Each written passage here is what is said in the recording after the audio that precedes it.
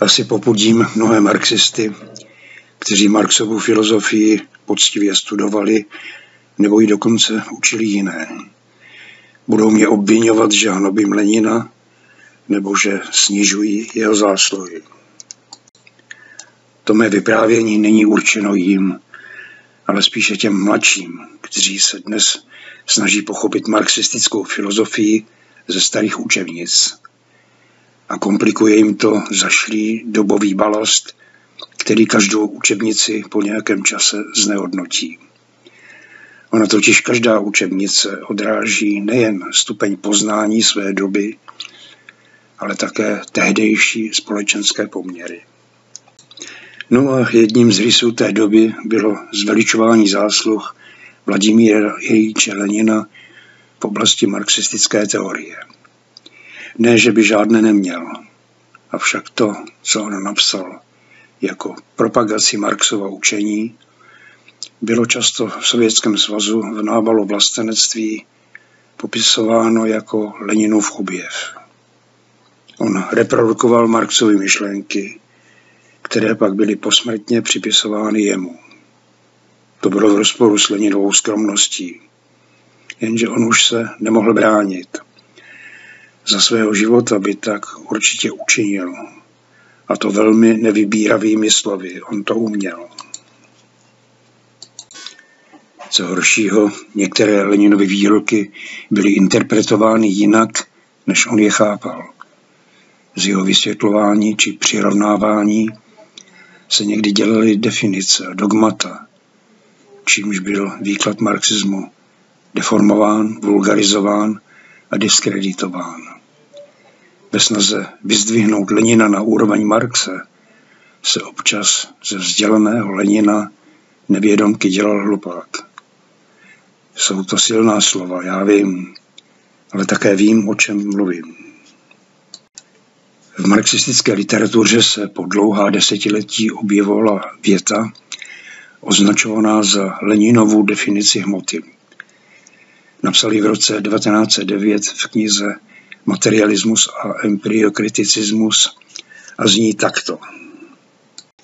Hmota je filozofická kategorie k označení objektivní reality, jež je dána člověku v jeho počitcích jež je kopírována, fotografována a zobrazována našimi počitky a existuje nezávisle na nich. Tuto větu počali za Leninovu definici hmoty označovat starší sovětské učebnice filozofie, které pak byly překládány i do češtiny. Ještě v 70. letech minulého století to byly zejména učebnice z Pirkina a Konstantinova. Postupně ale z některých učebnic a slovníků začala tato věta potichu mizet, zejména u sovětských a německých autorů. Někdy na ní bývalo jen odkazováno, ale nebyla uváděna. V pozdějších překladech bylo občas slovo zobrazována nahrazeno slovem odrážena. A jinde se hovořilo pouze o takzvaném leninském pojetí emotiv. Avšak někteří čeští autoři, zejména zpětí s Vysokou školou politickou UVKSČ, většinou důsledně trvali na této takzvané definici. Zamlžovali skutečnost, že ona věta neobsahuje žádný Leninův objev, že v ní není nic, co by Marx a Engels desítky let před ní neobjasnili stejnými slovy či přesněji. A hlavně neříkali, že tuto větu Lenin za žádnou definici nikdy nepovažoval. Ještě v roce 1980 to nereflektovala například učebnice marxisticko-leninské filozofie pro vyšší stupeň stranického vzdělávání. Podle ní se učilo i na státních školách. Naposledy byla v roce 1988 vydána vysokoškolská skripta, schválená pro všechny vysoké školy v Československu. I v nich je tvrdošíně hmota definována stejným způsobem. Celé generace se v tehdejším Československu učili nesmysl, který byl v Sovětském svazu i v Německé demokratické republice už dávno opuštěn. Připomeňme si onu větu znovu. Je uvedena v knize Materialismus a empiriokriticismus v části 4, nazvané Existuje objektivní pravda? Lenin tam odmítá subjektivně idealistické názory Avenária, Ernsta Macha i dalších, kteří tvrdili, že neexistuje objektivní realita, že neexistuje hmota, že existují jen takzvané elementy světa, tedy naše počitky.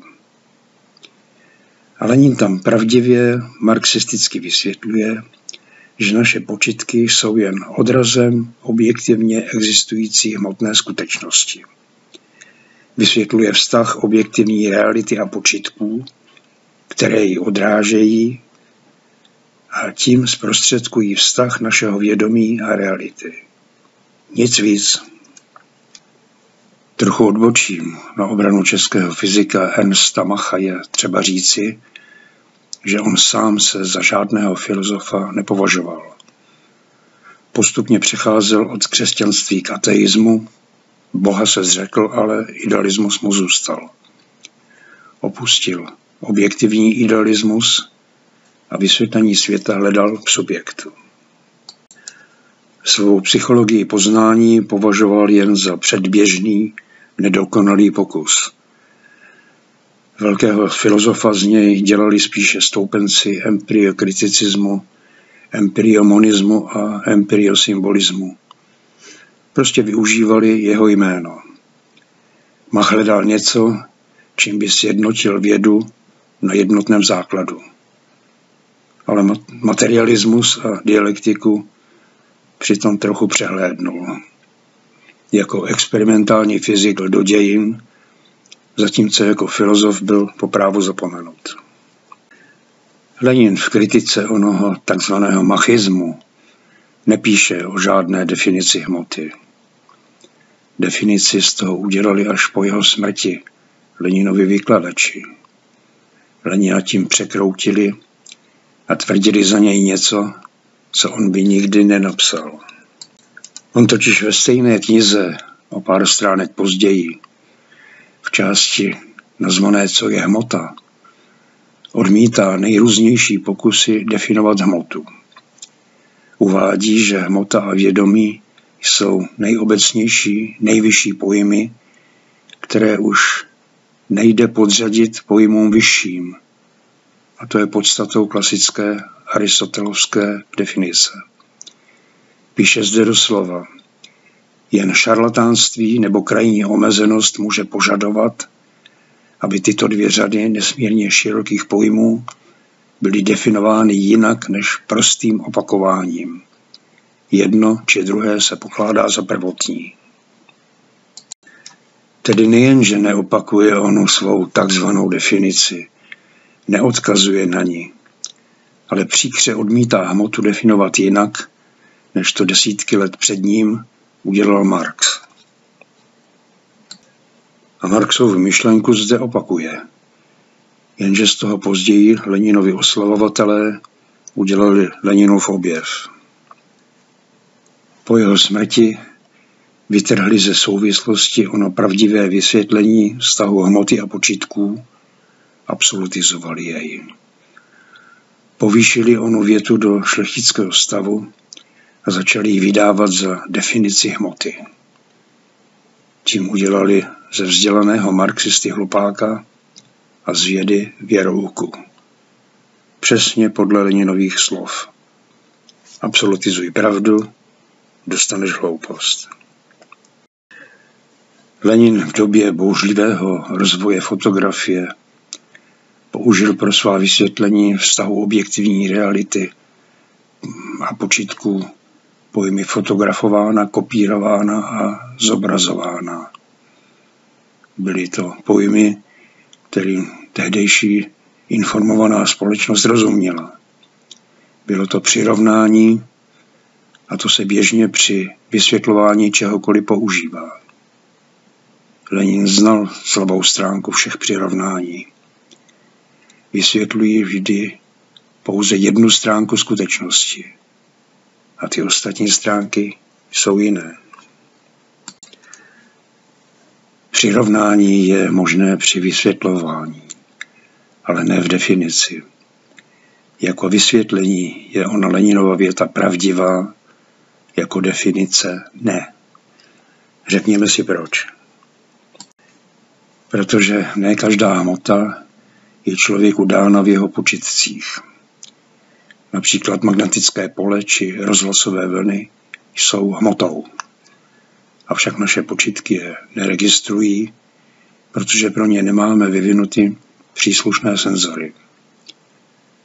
Přesto jsou všechna vlnění mimo viditelné spektrum objektivní realitou. Jsou nezávislá na našem vědomí. A my je poznáváme jen velmi zprostředkovaně, prostřednictvím jejich působení na jinou hmotu, prostřednictvím úplně jiných počitků. A teprve poté rozumem. Takzvaná Leninová definice hmoty by to ale všechno jako hmotu nepřipouštěla, neboť to není dáno našimi počítky.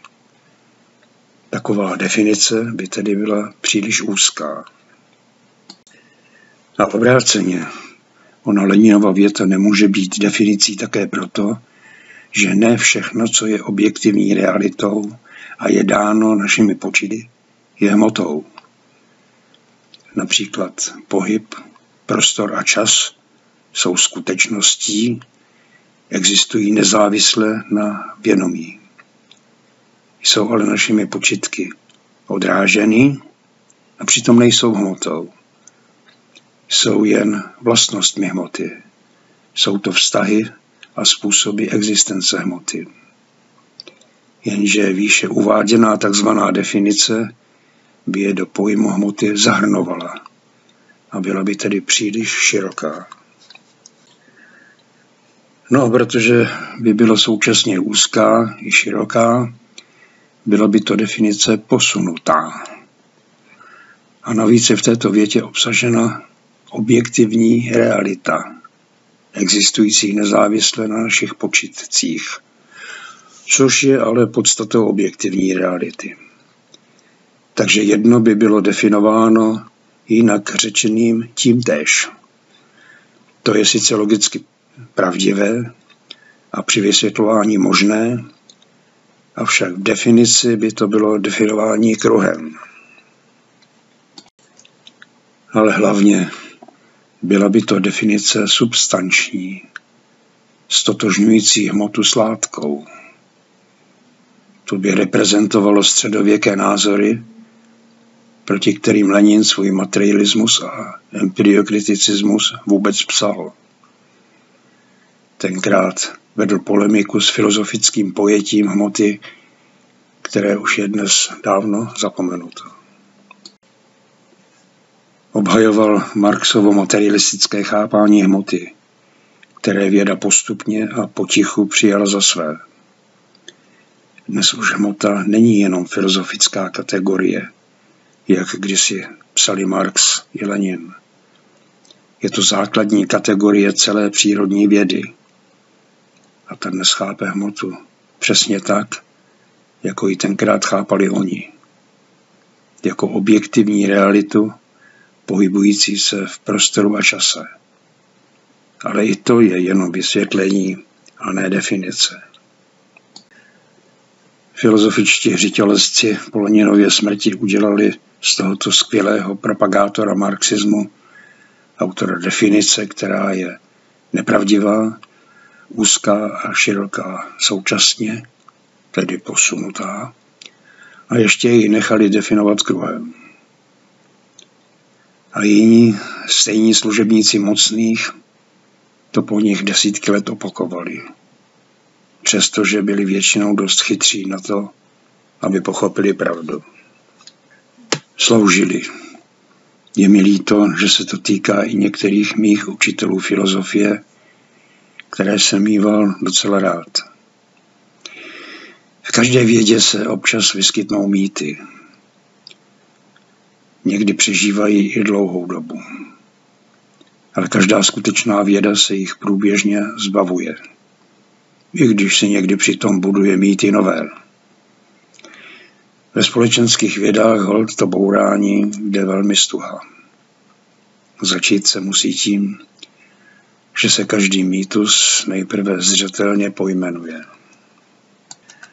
Leninova definice hmoty byl mýtus zanesený do marxismu po Leninově smrti v rozporu s jeho názory i v rozporu s jeho skromností.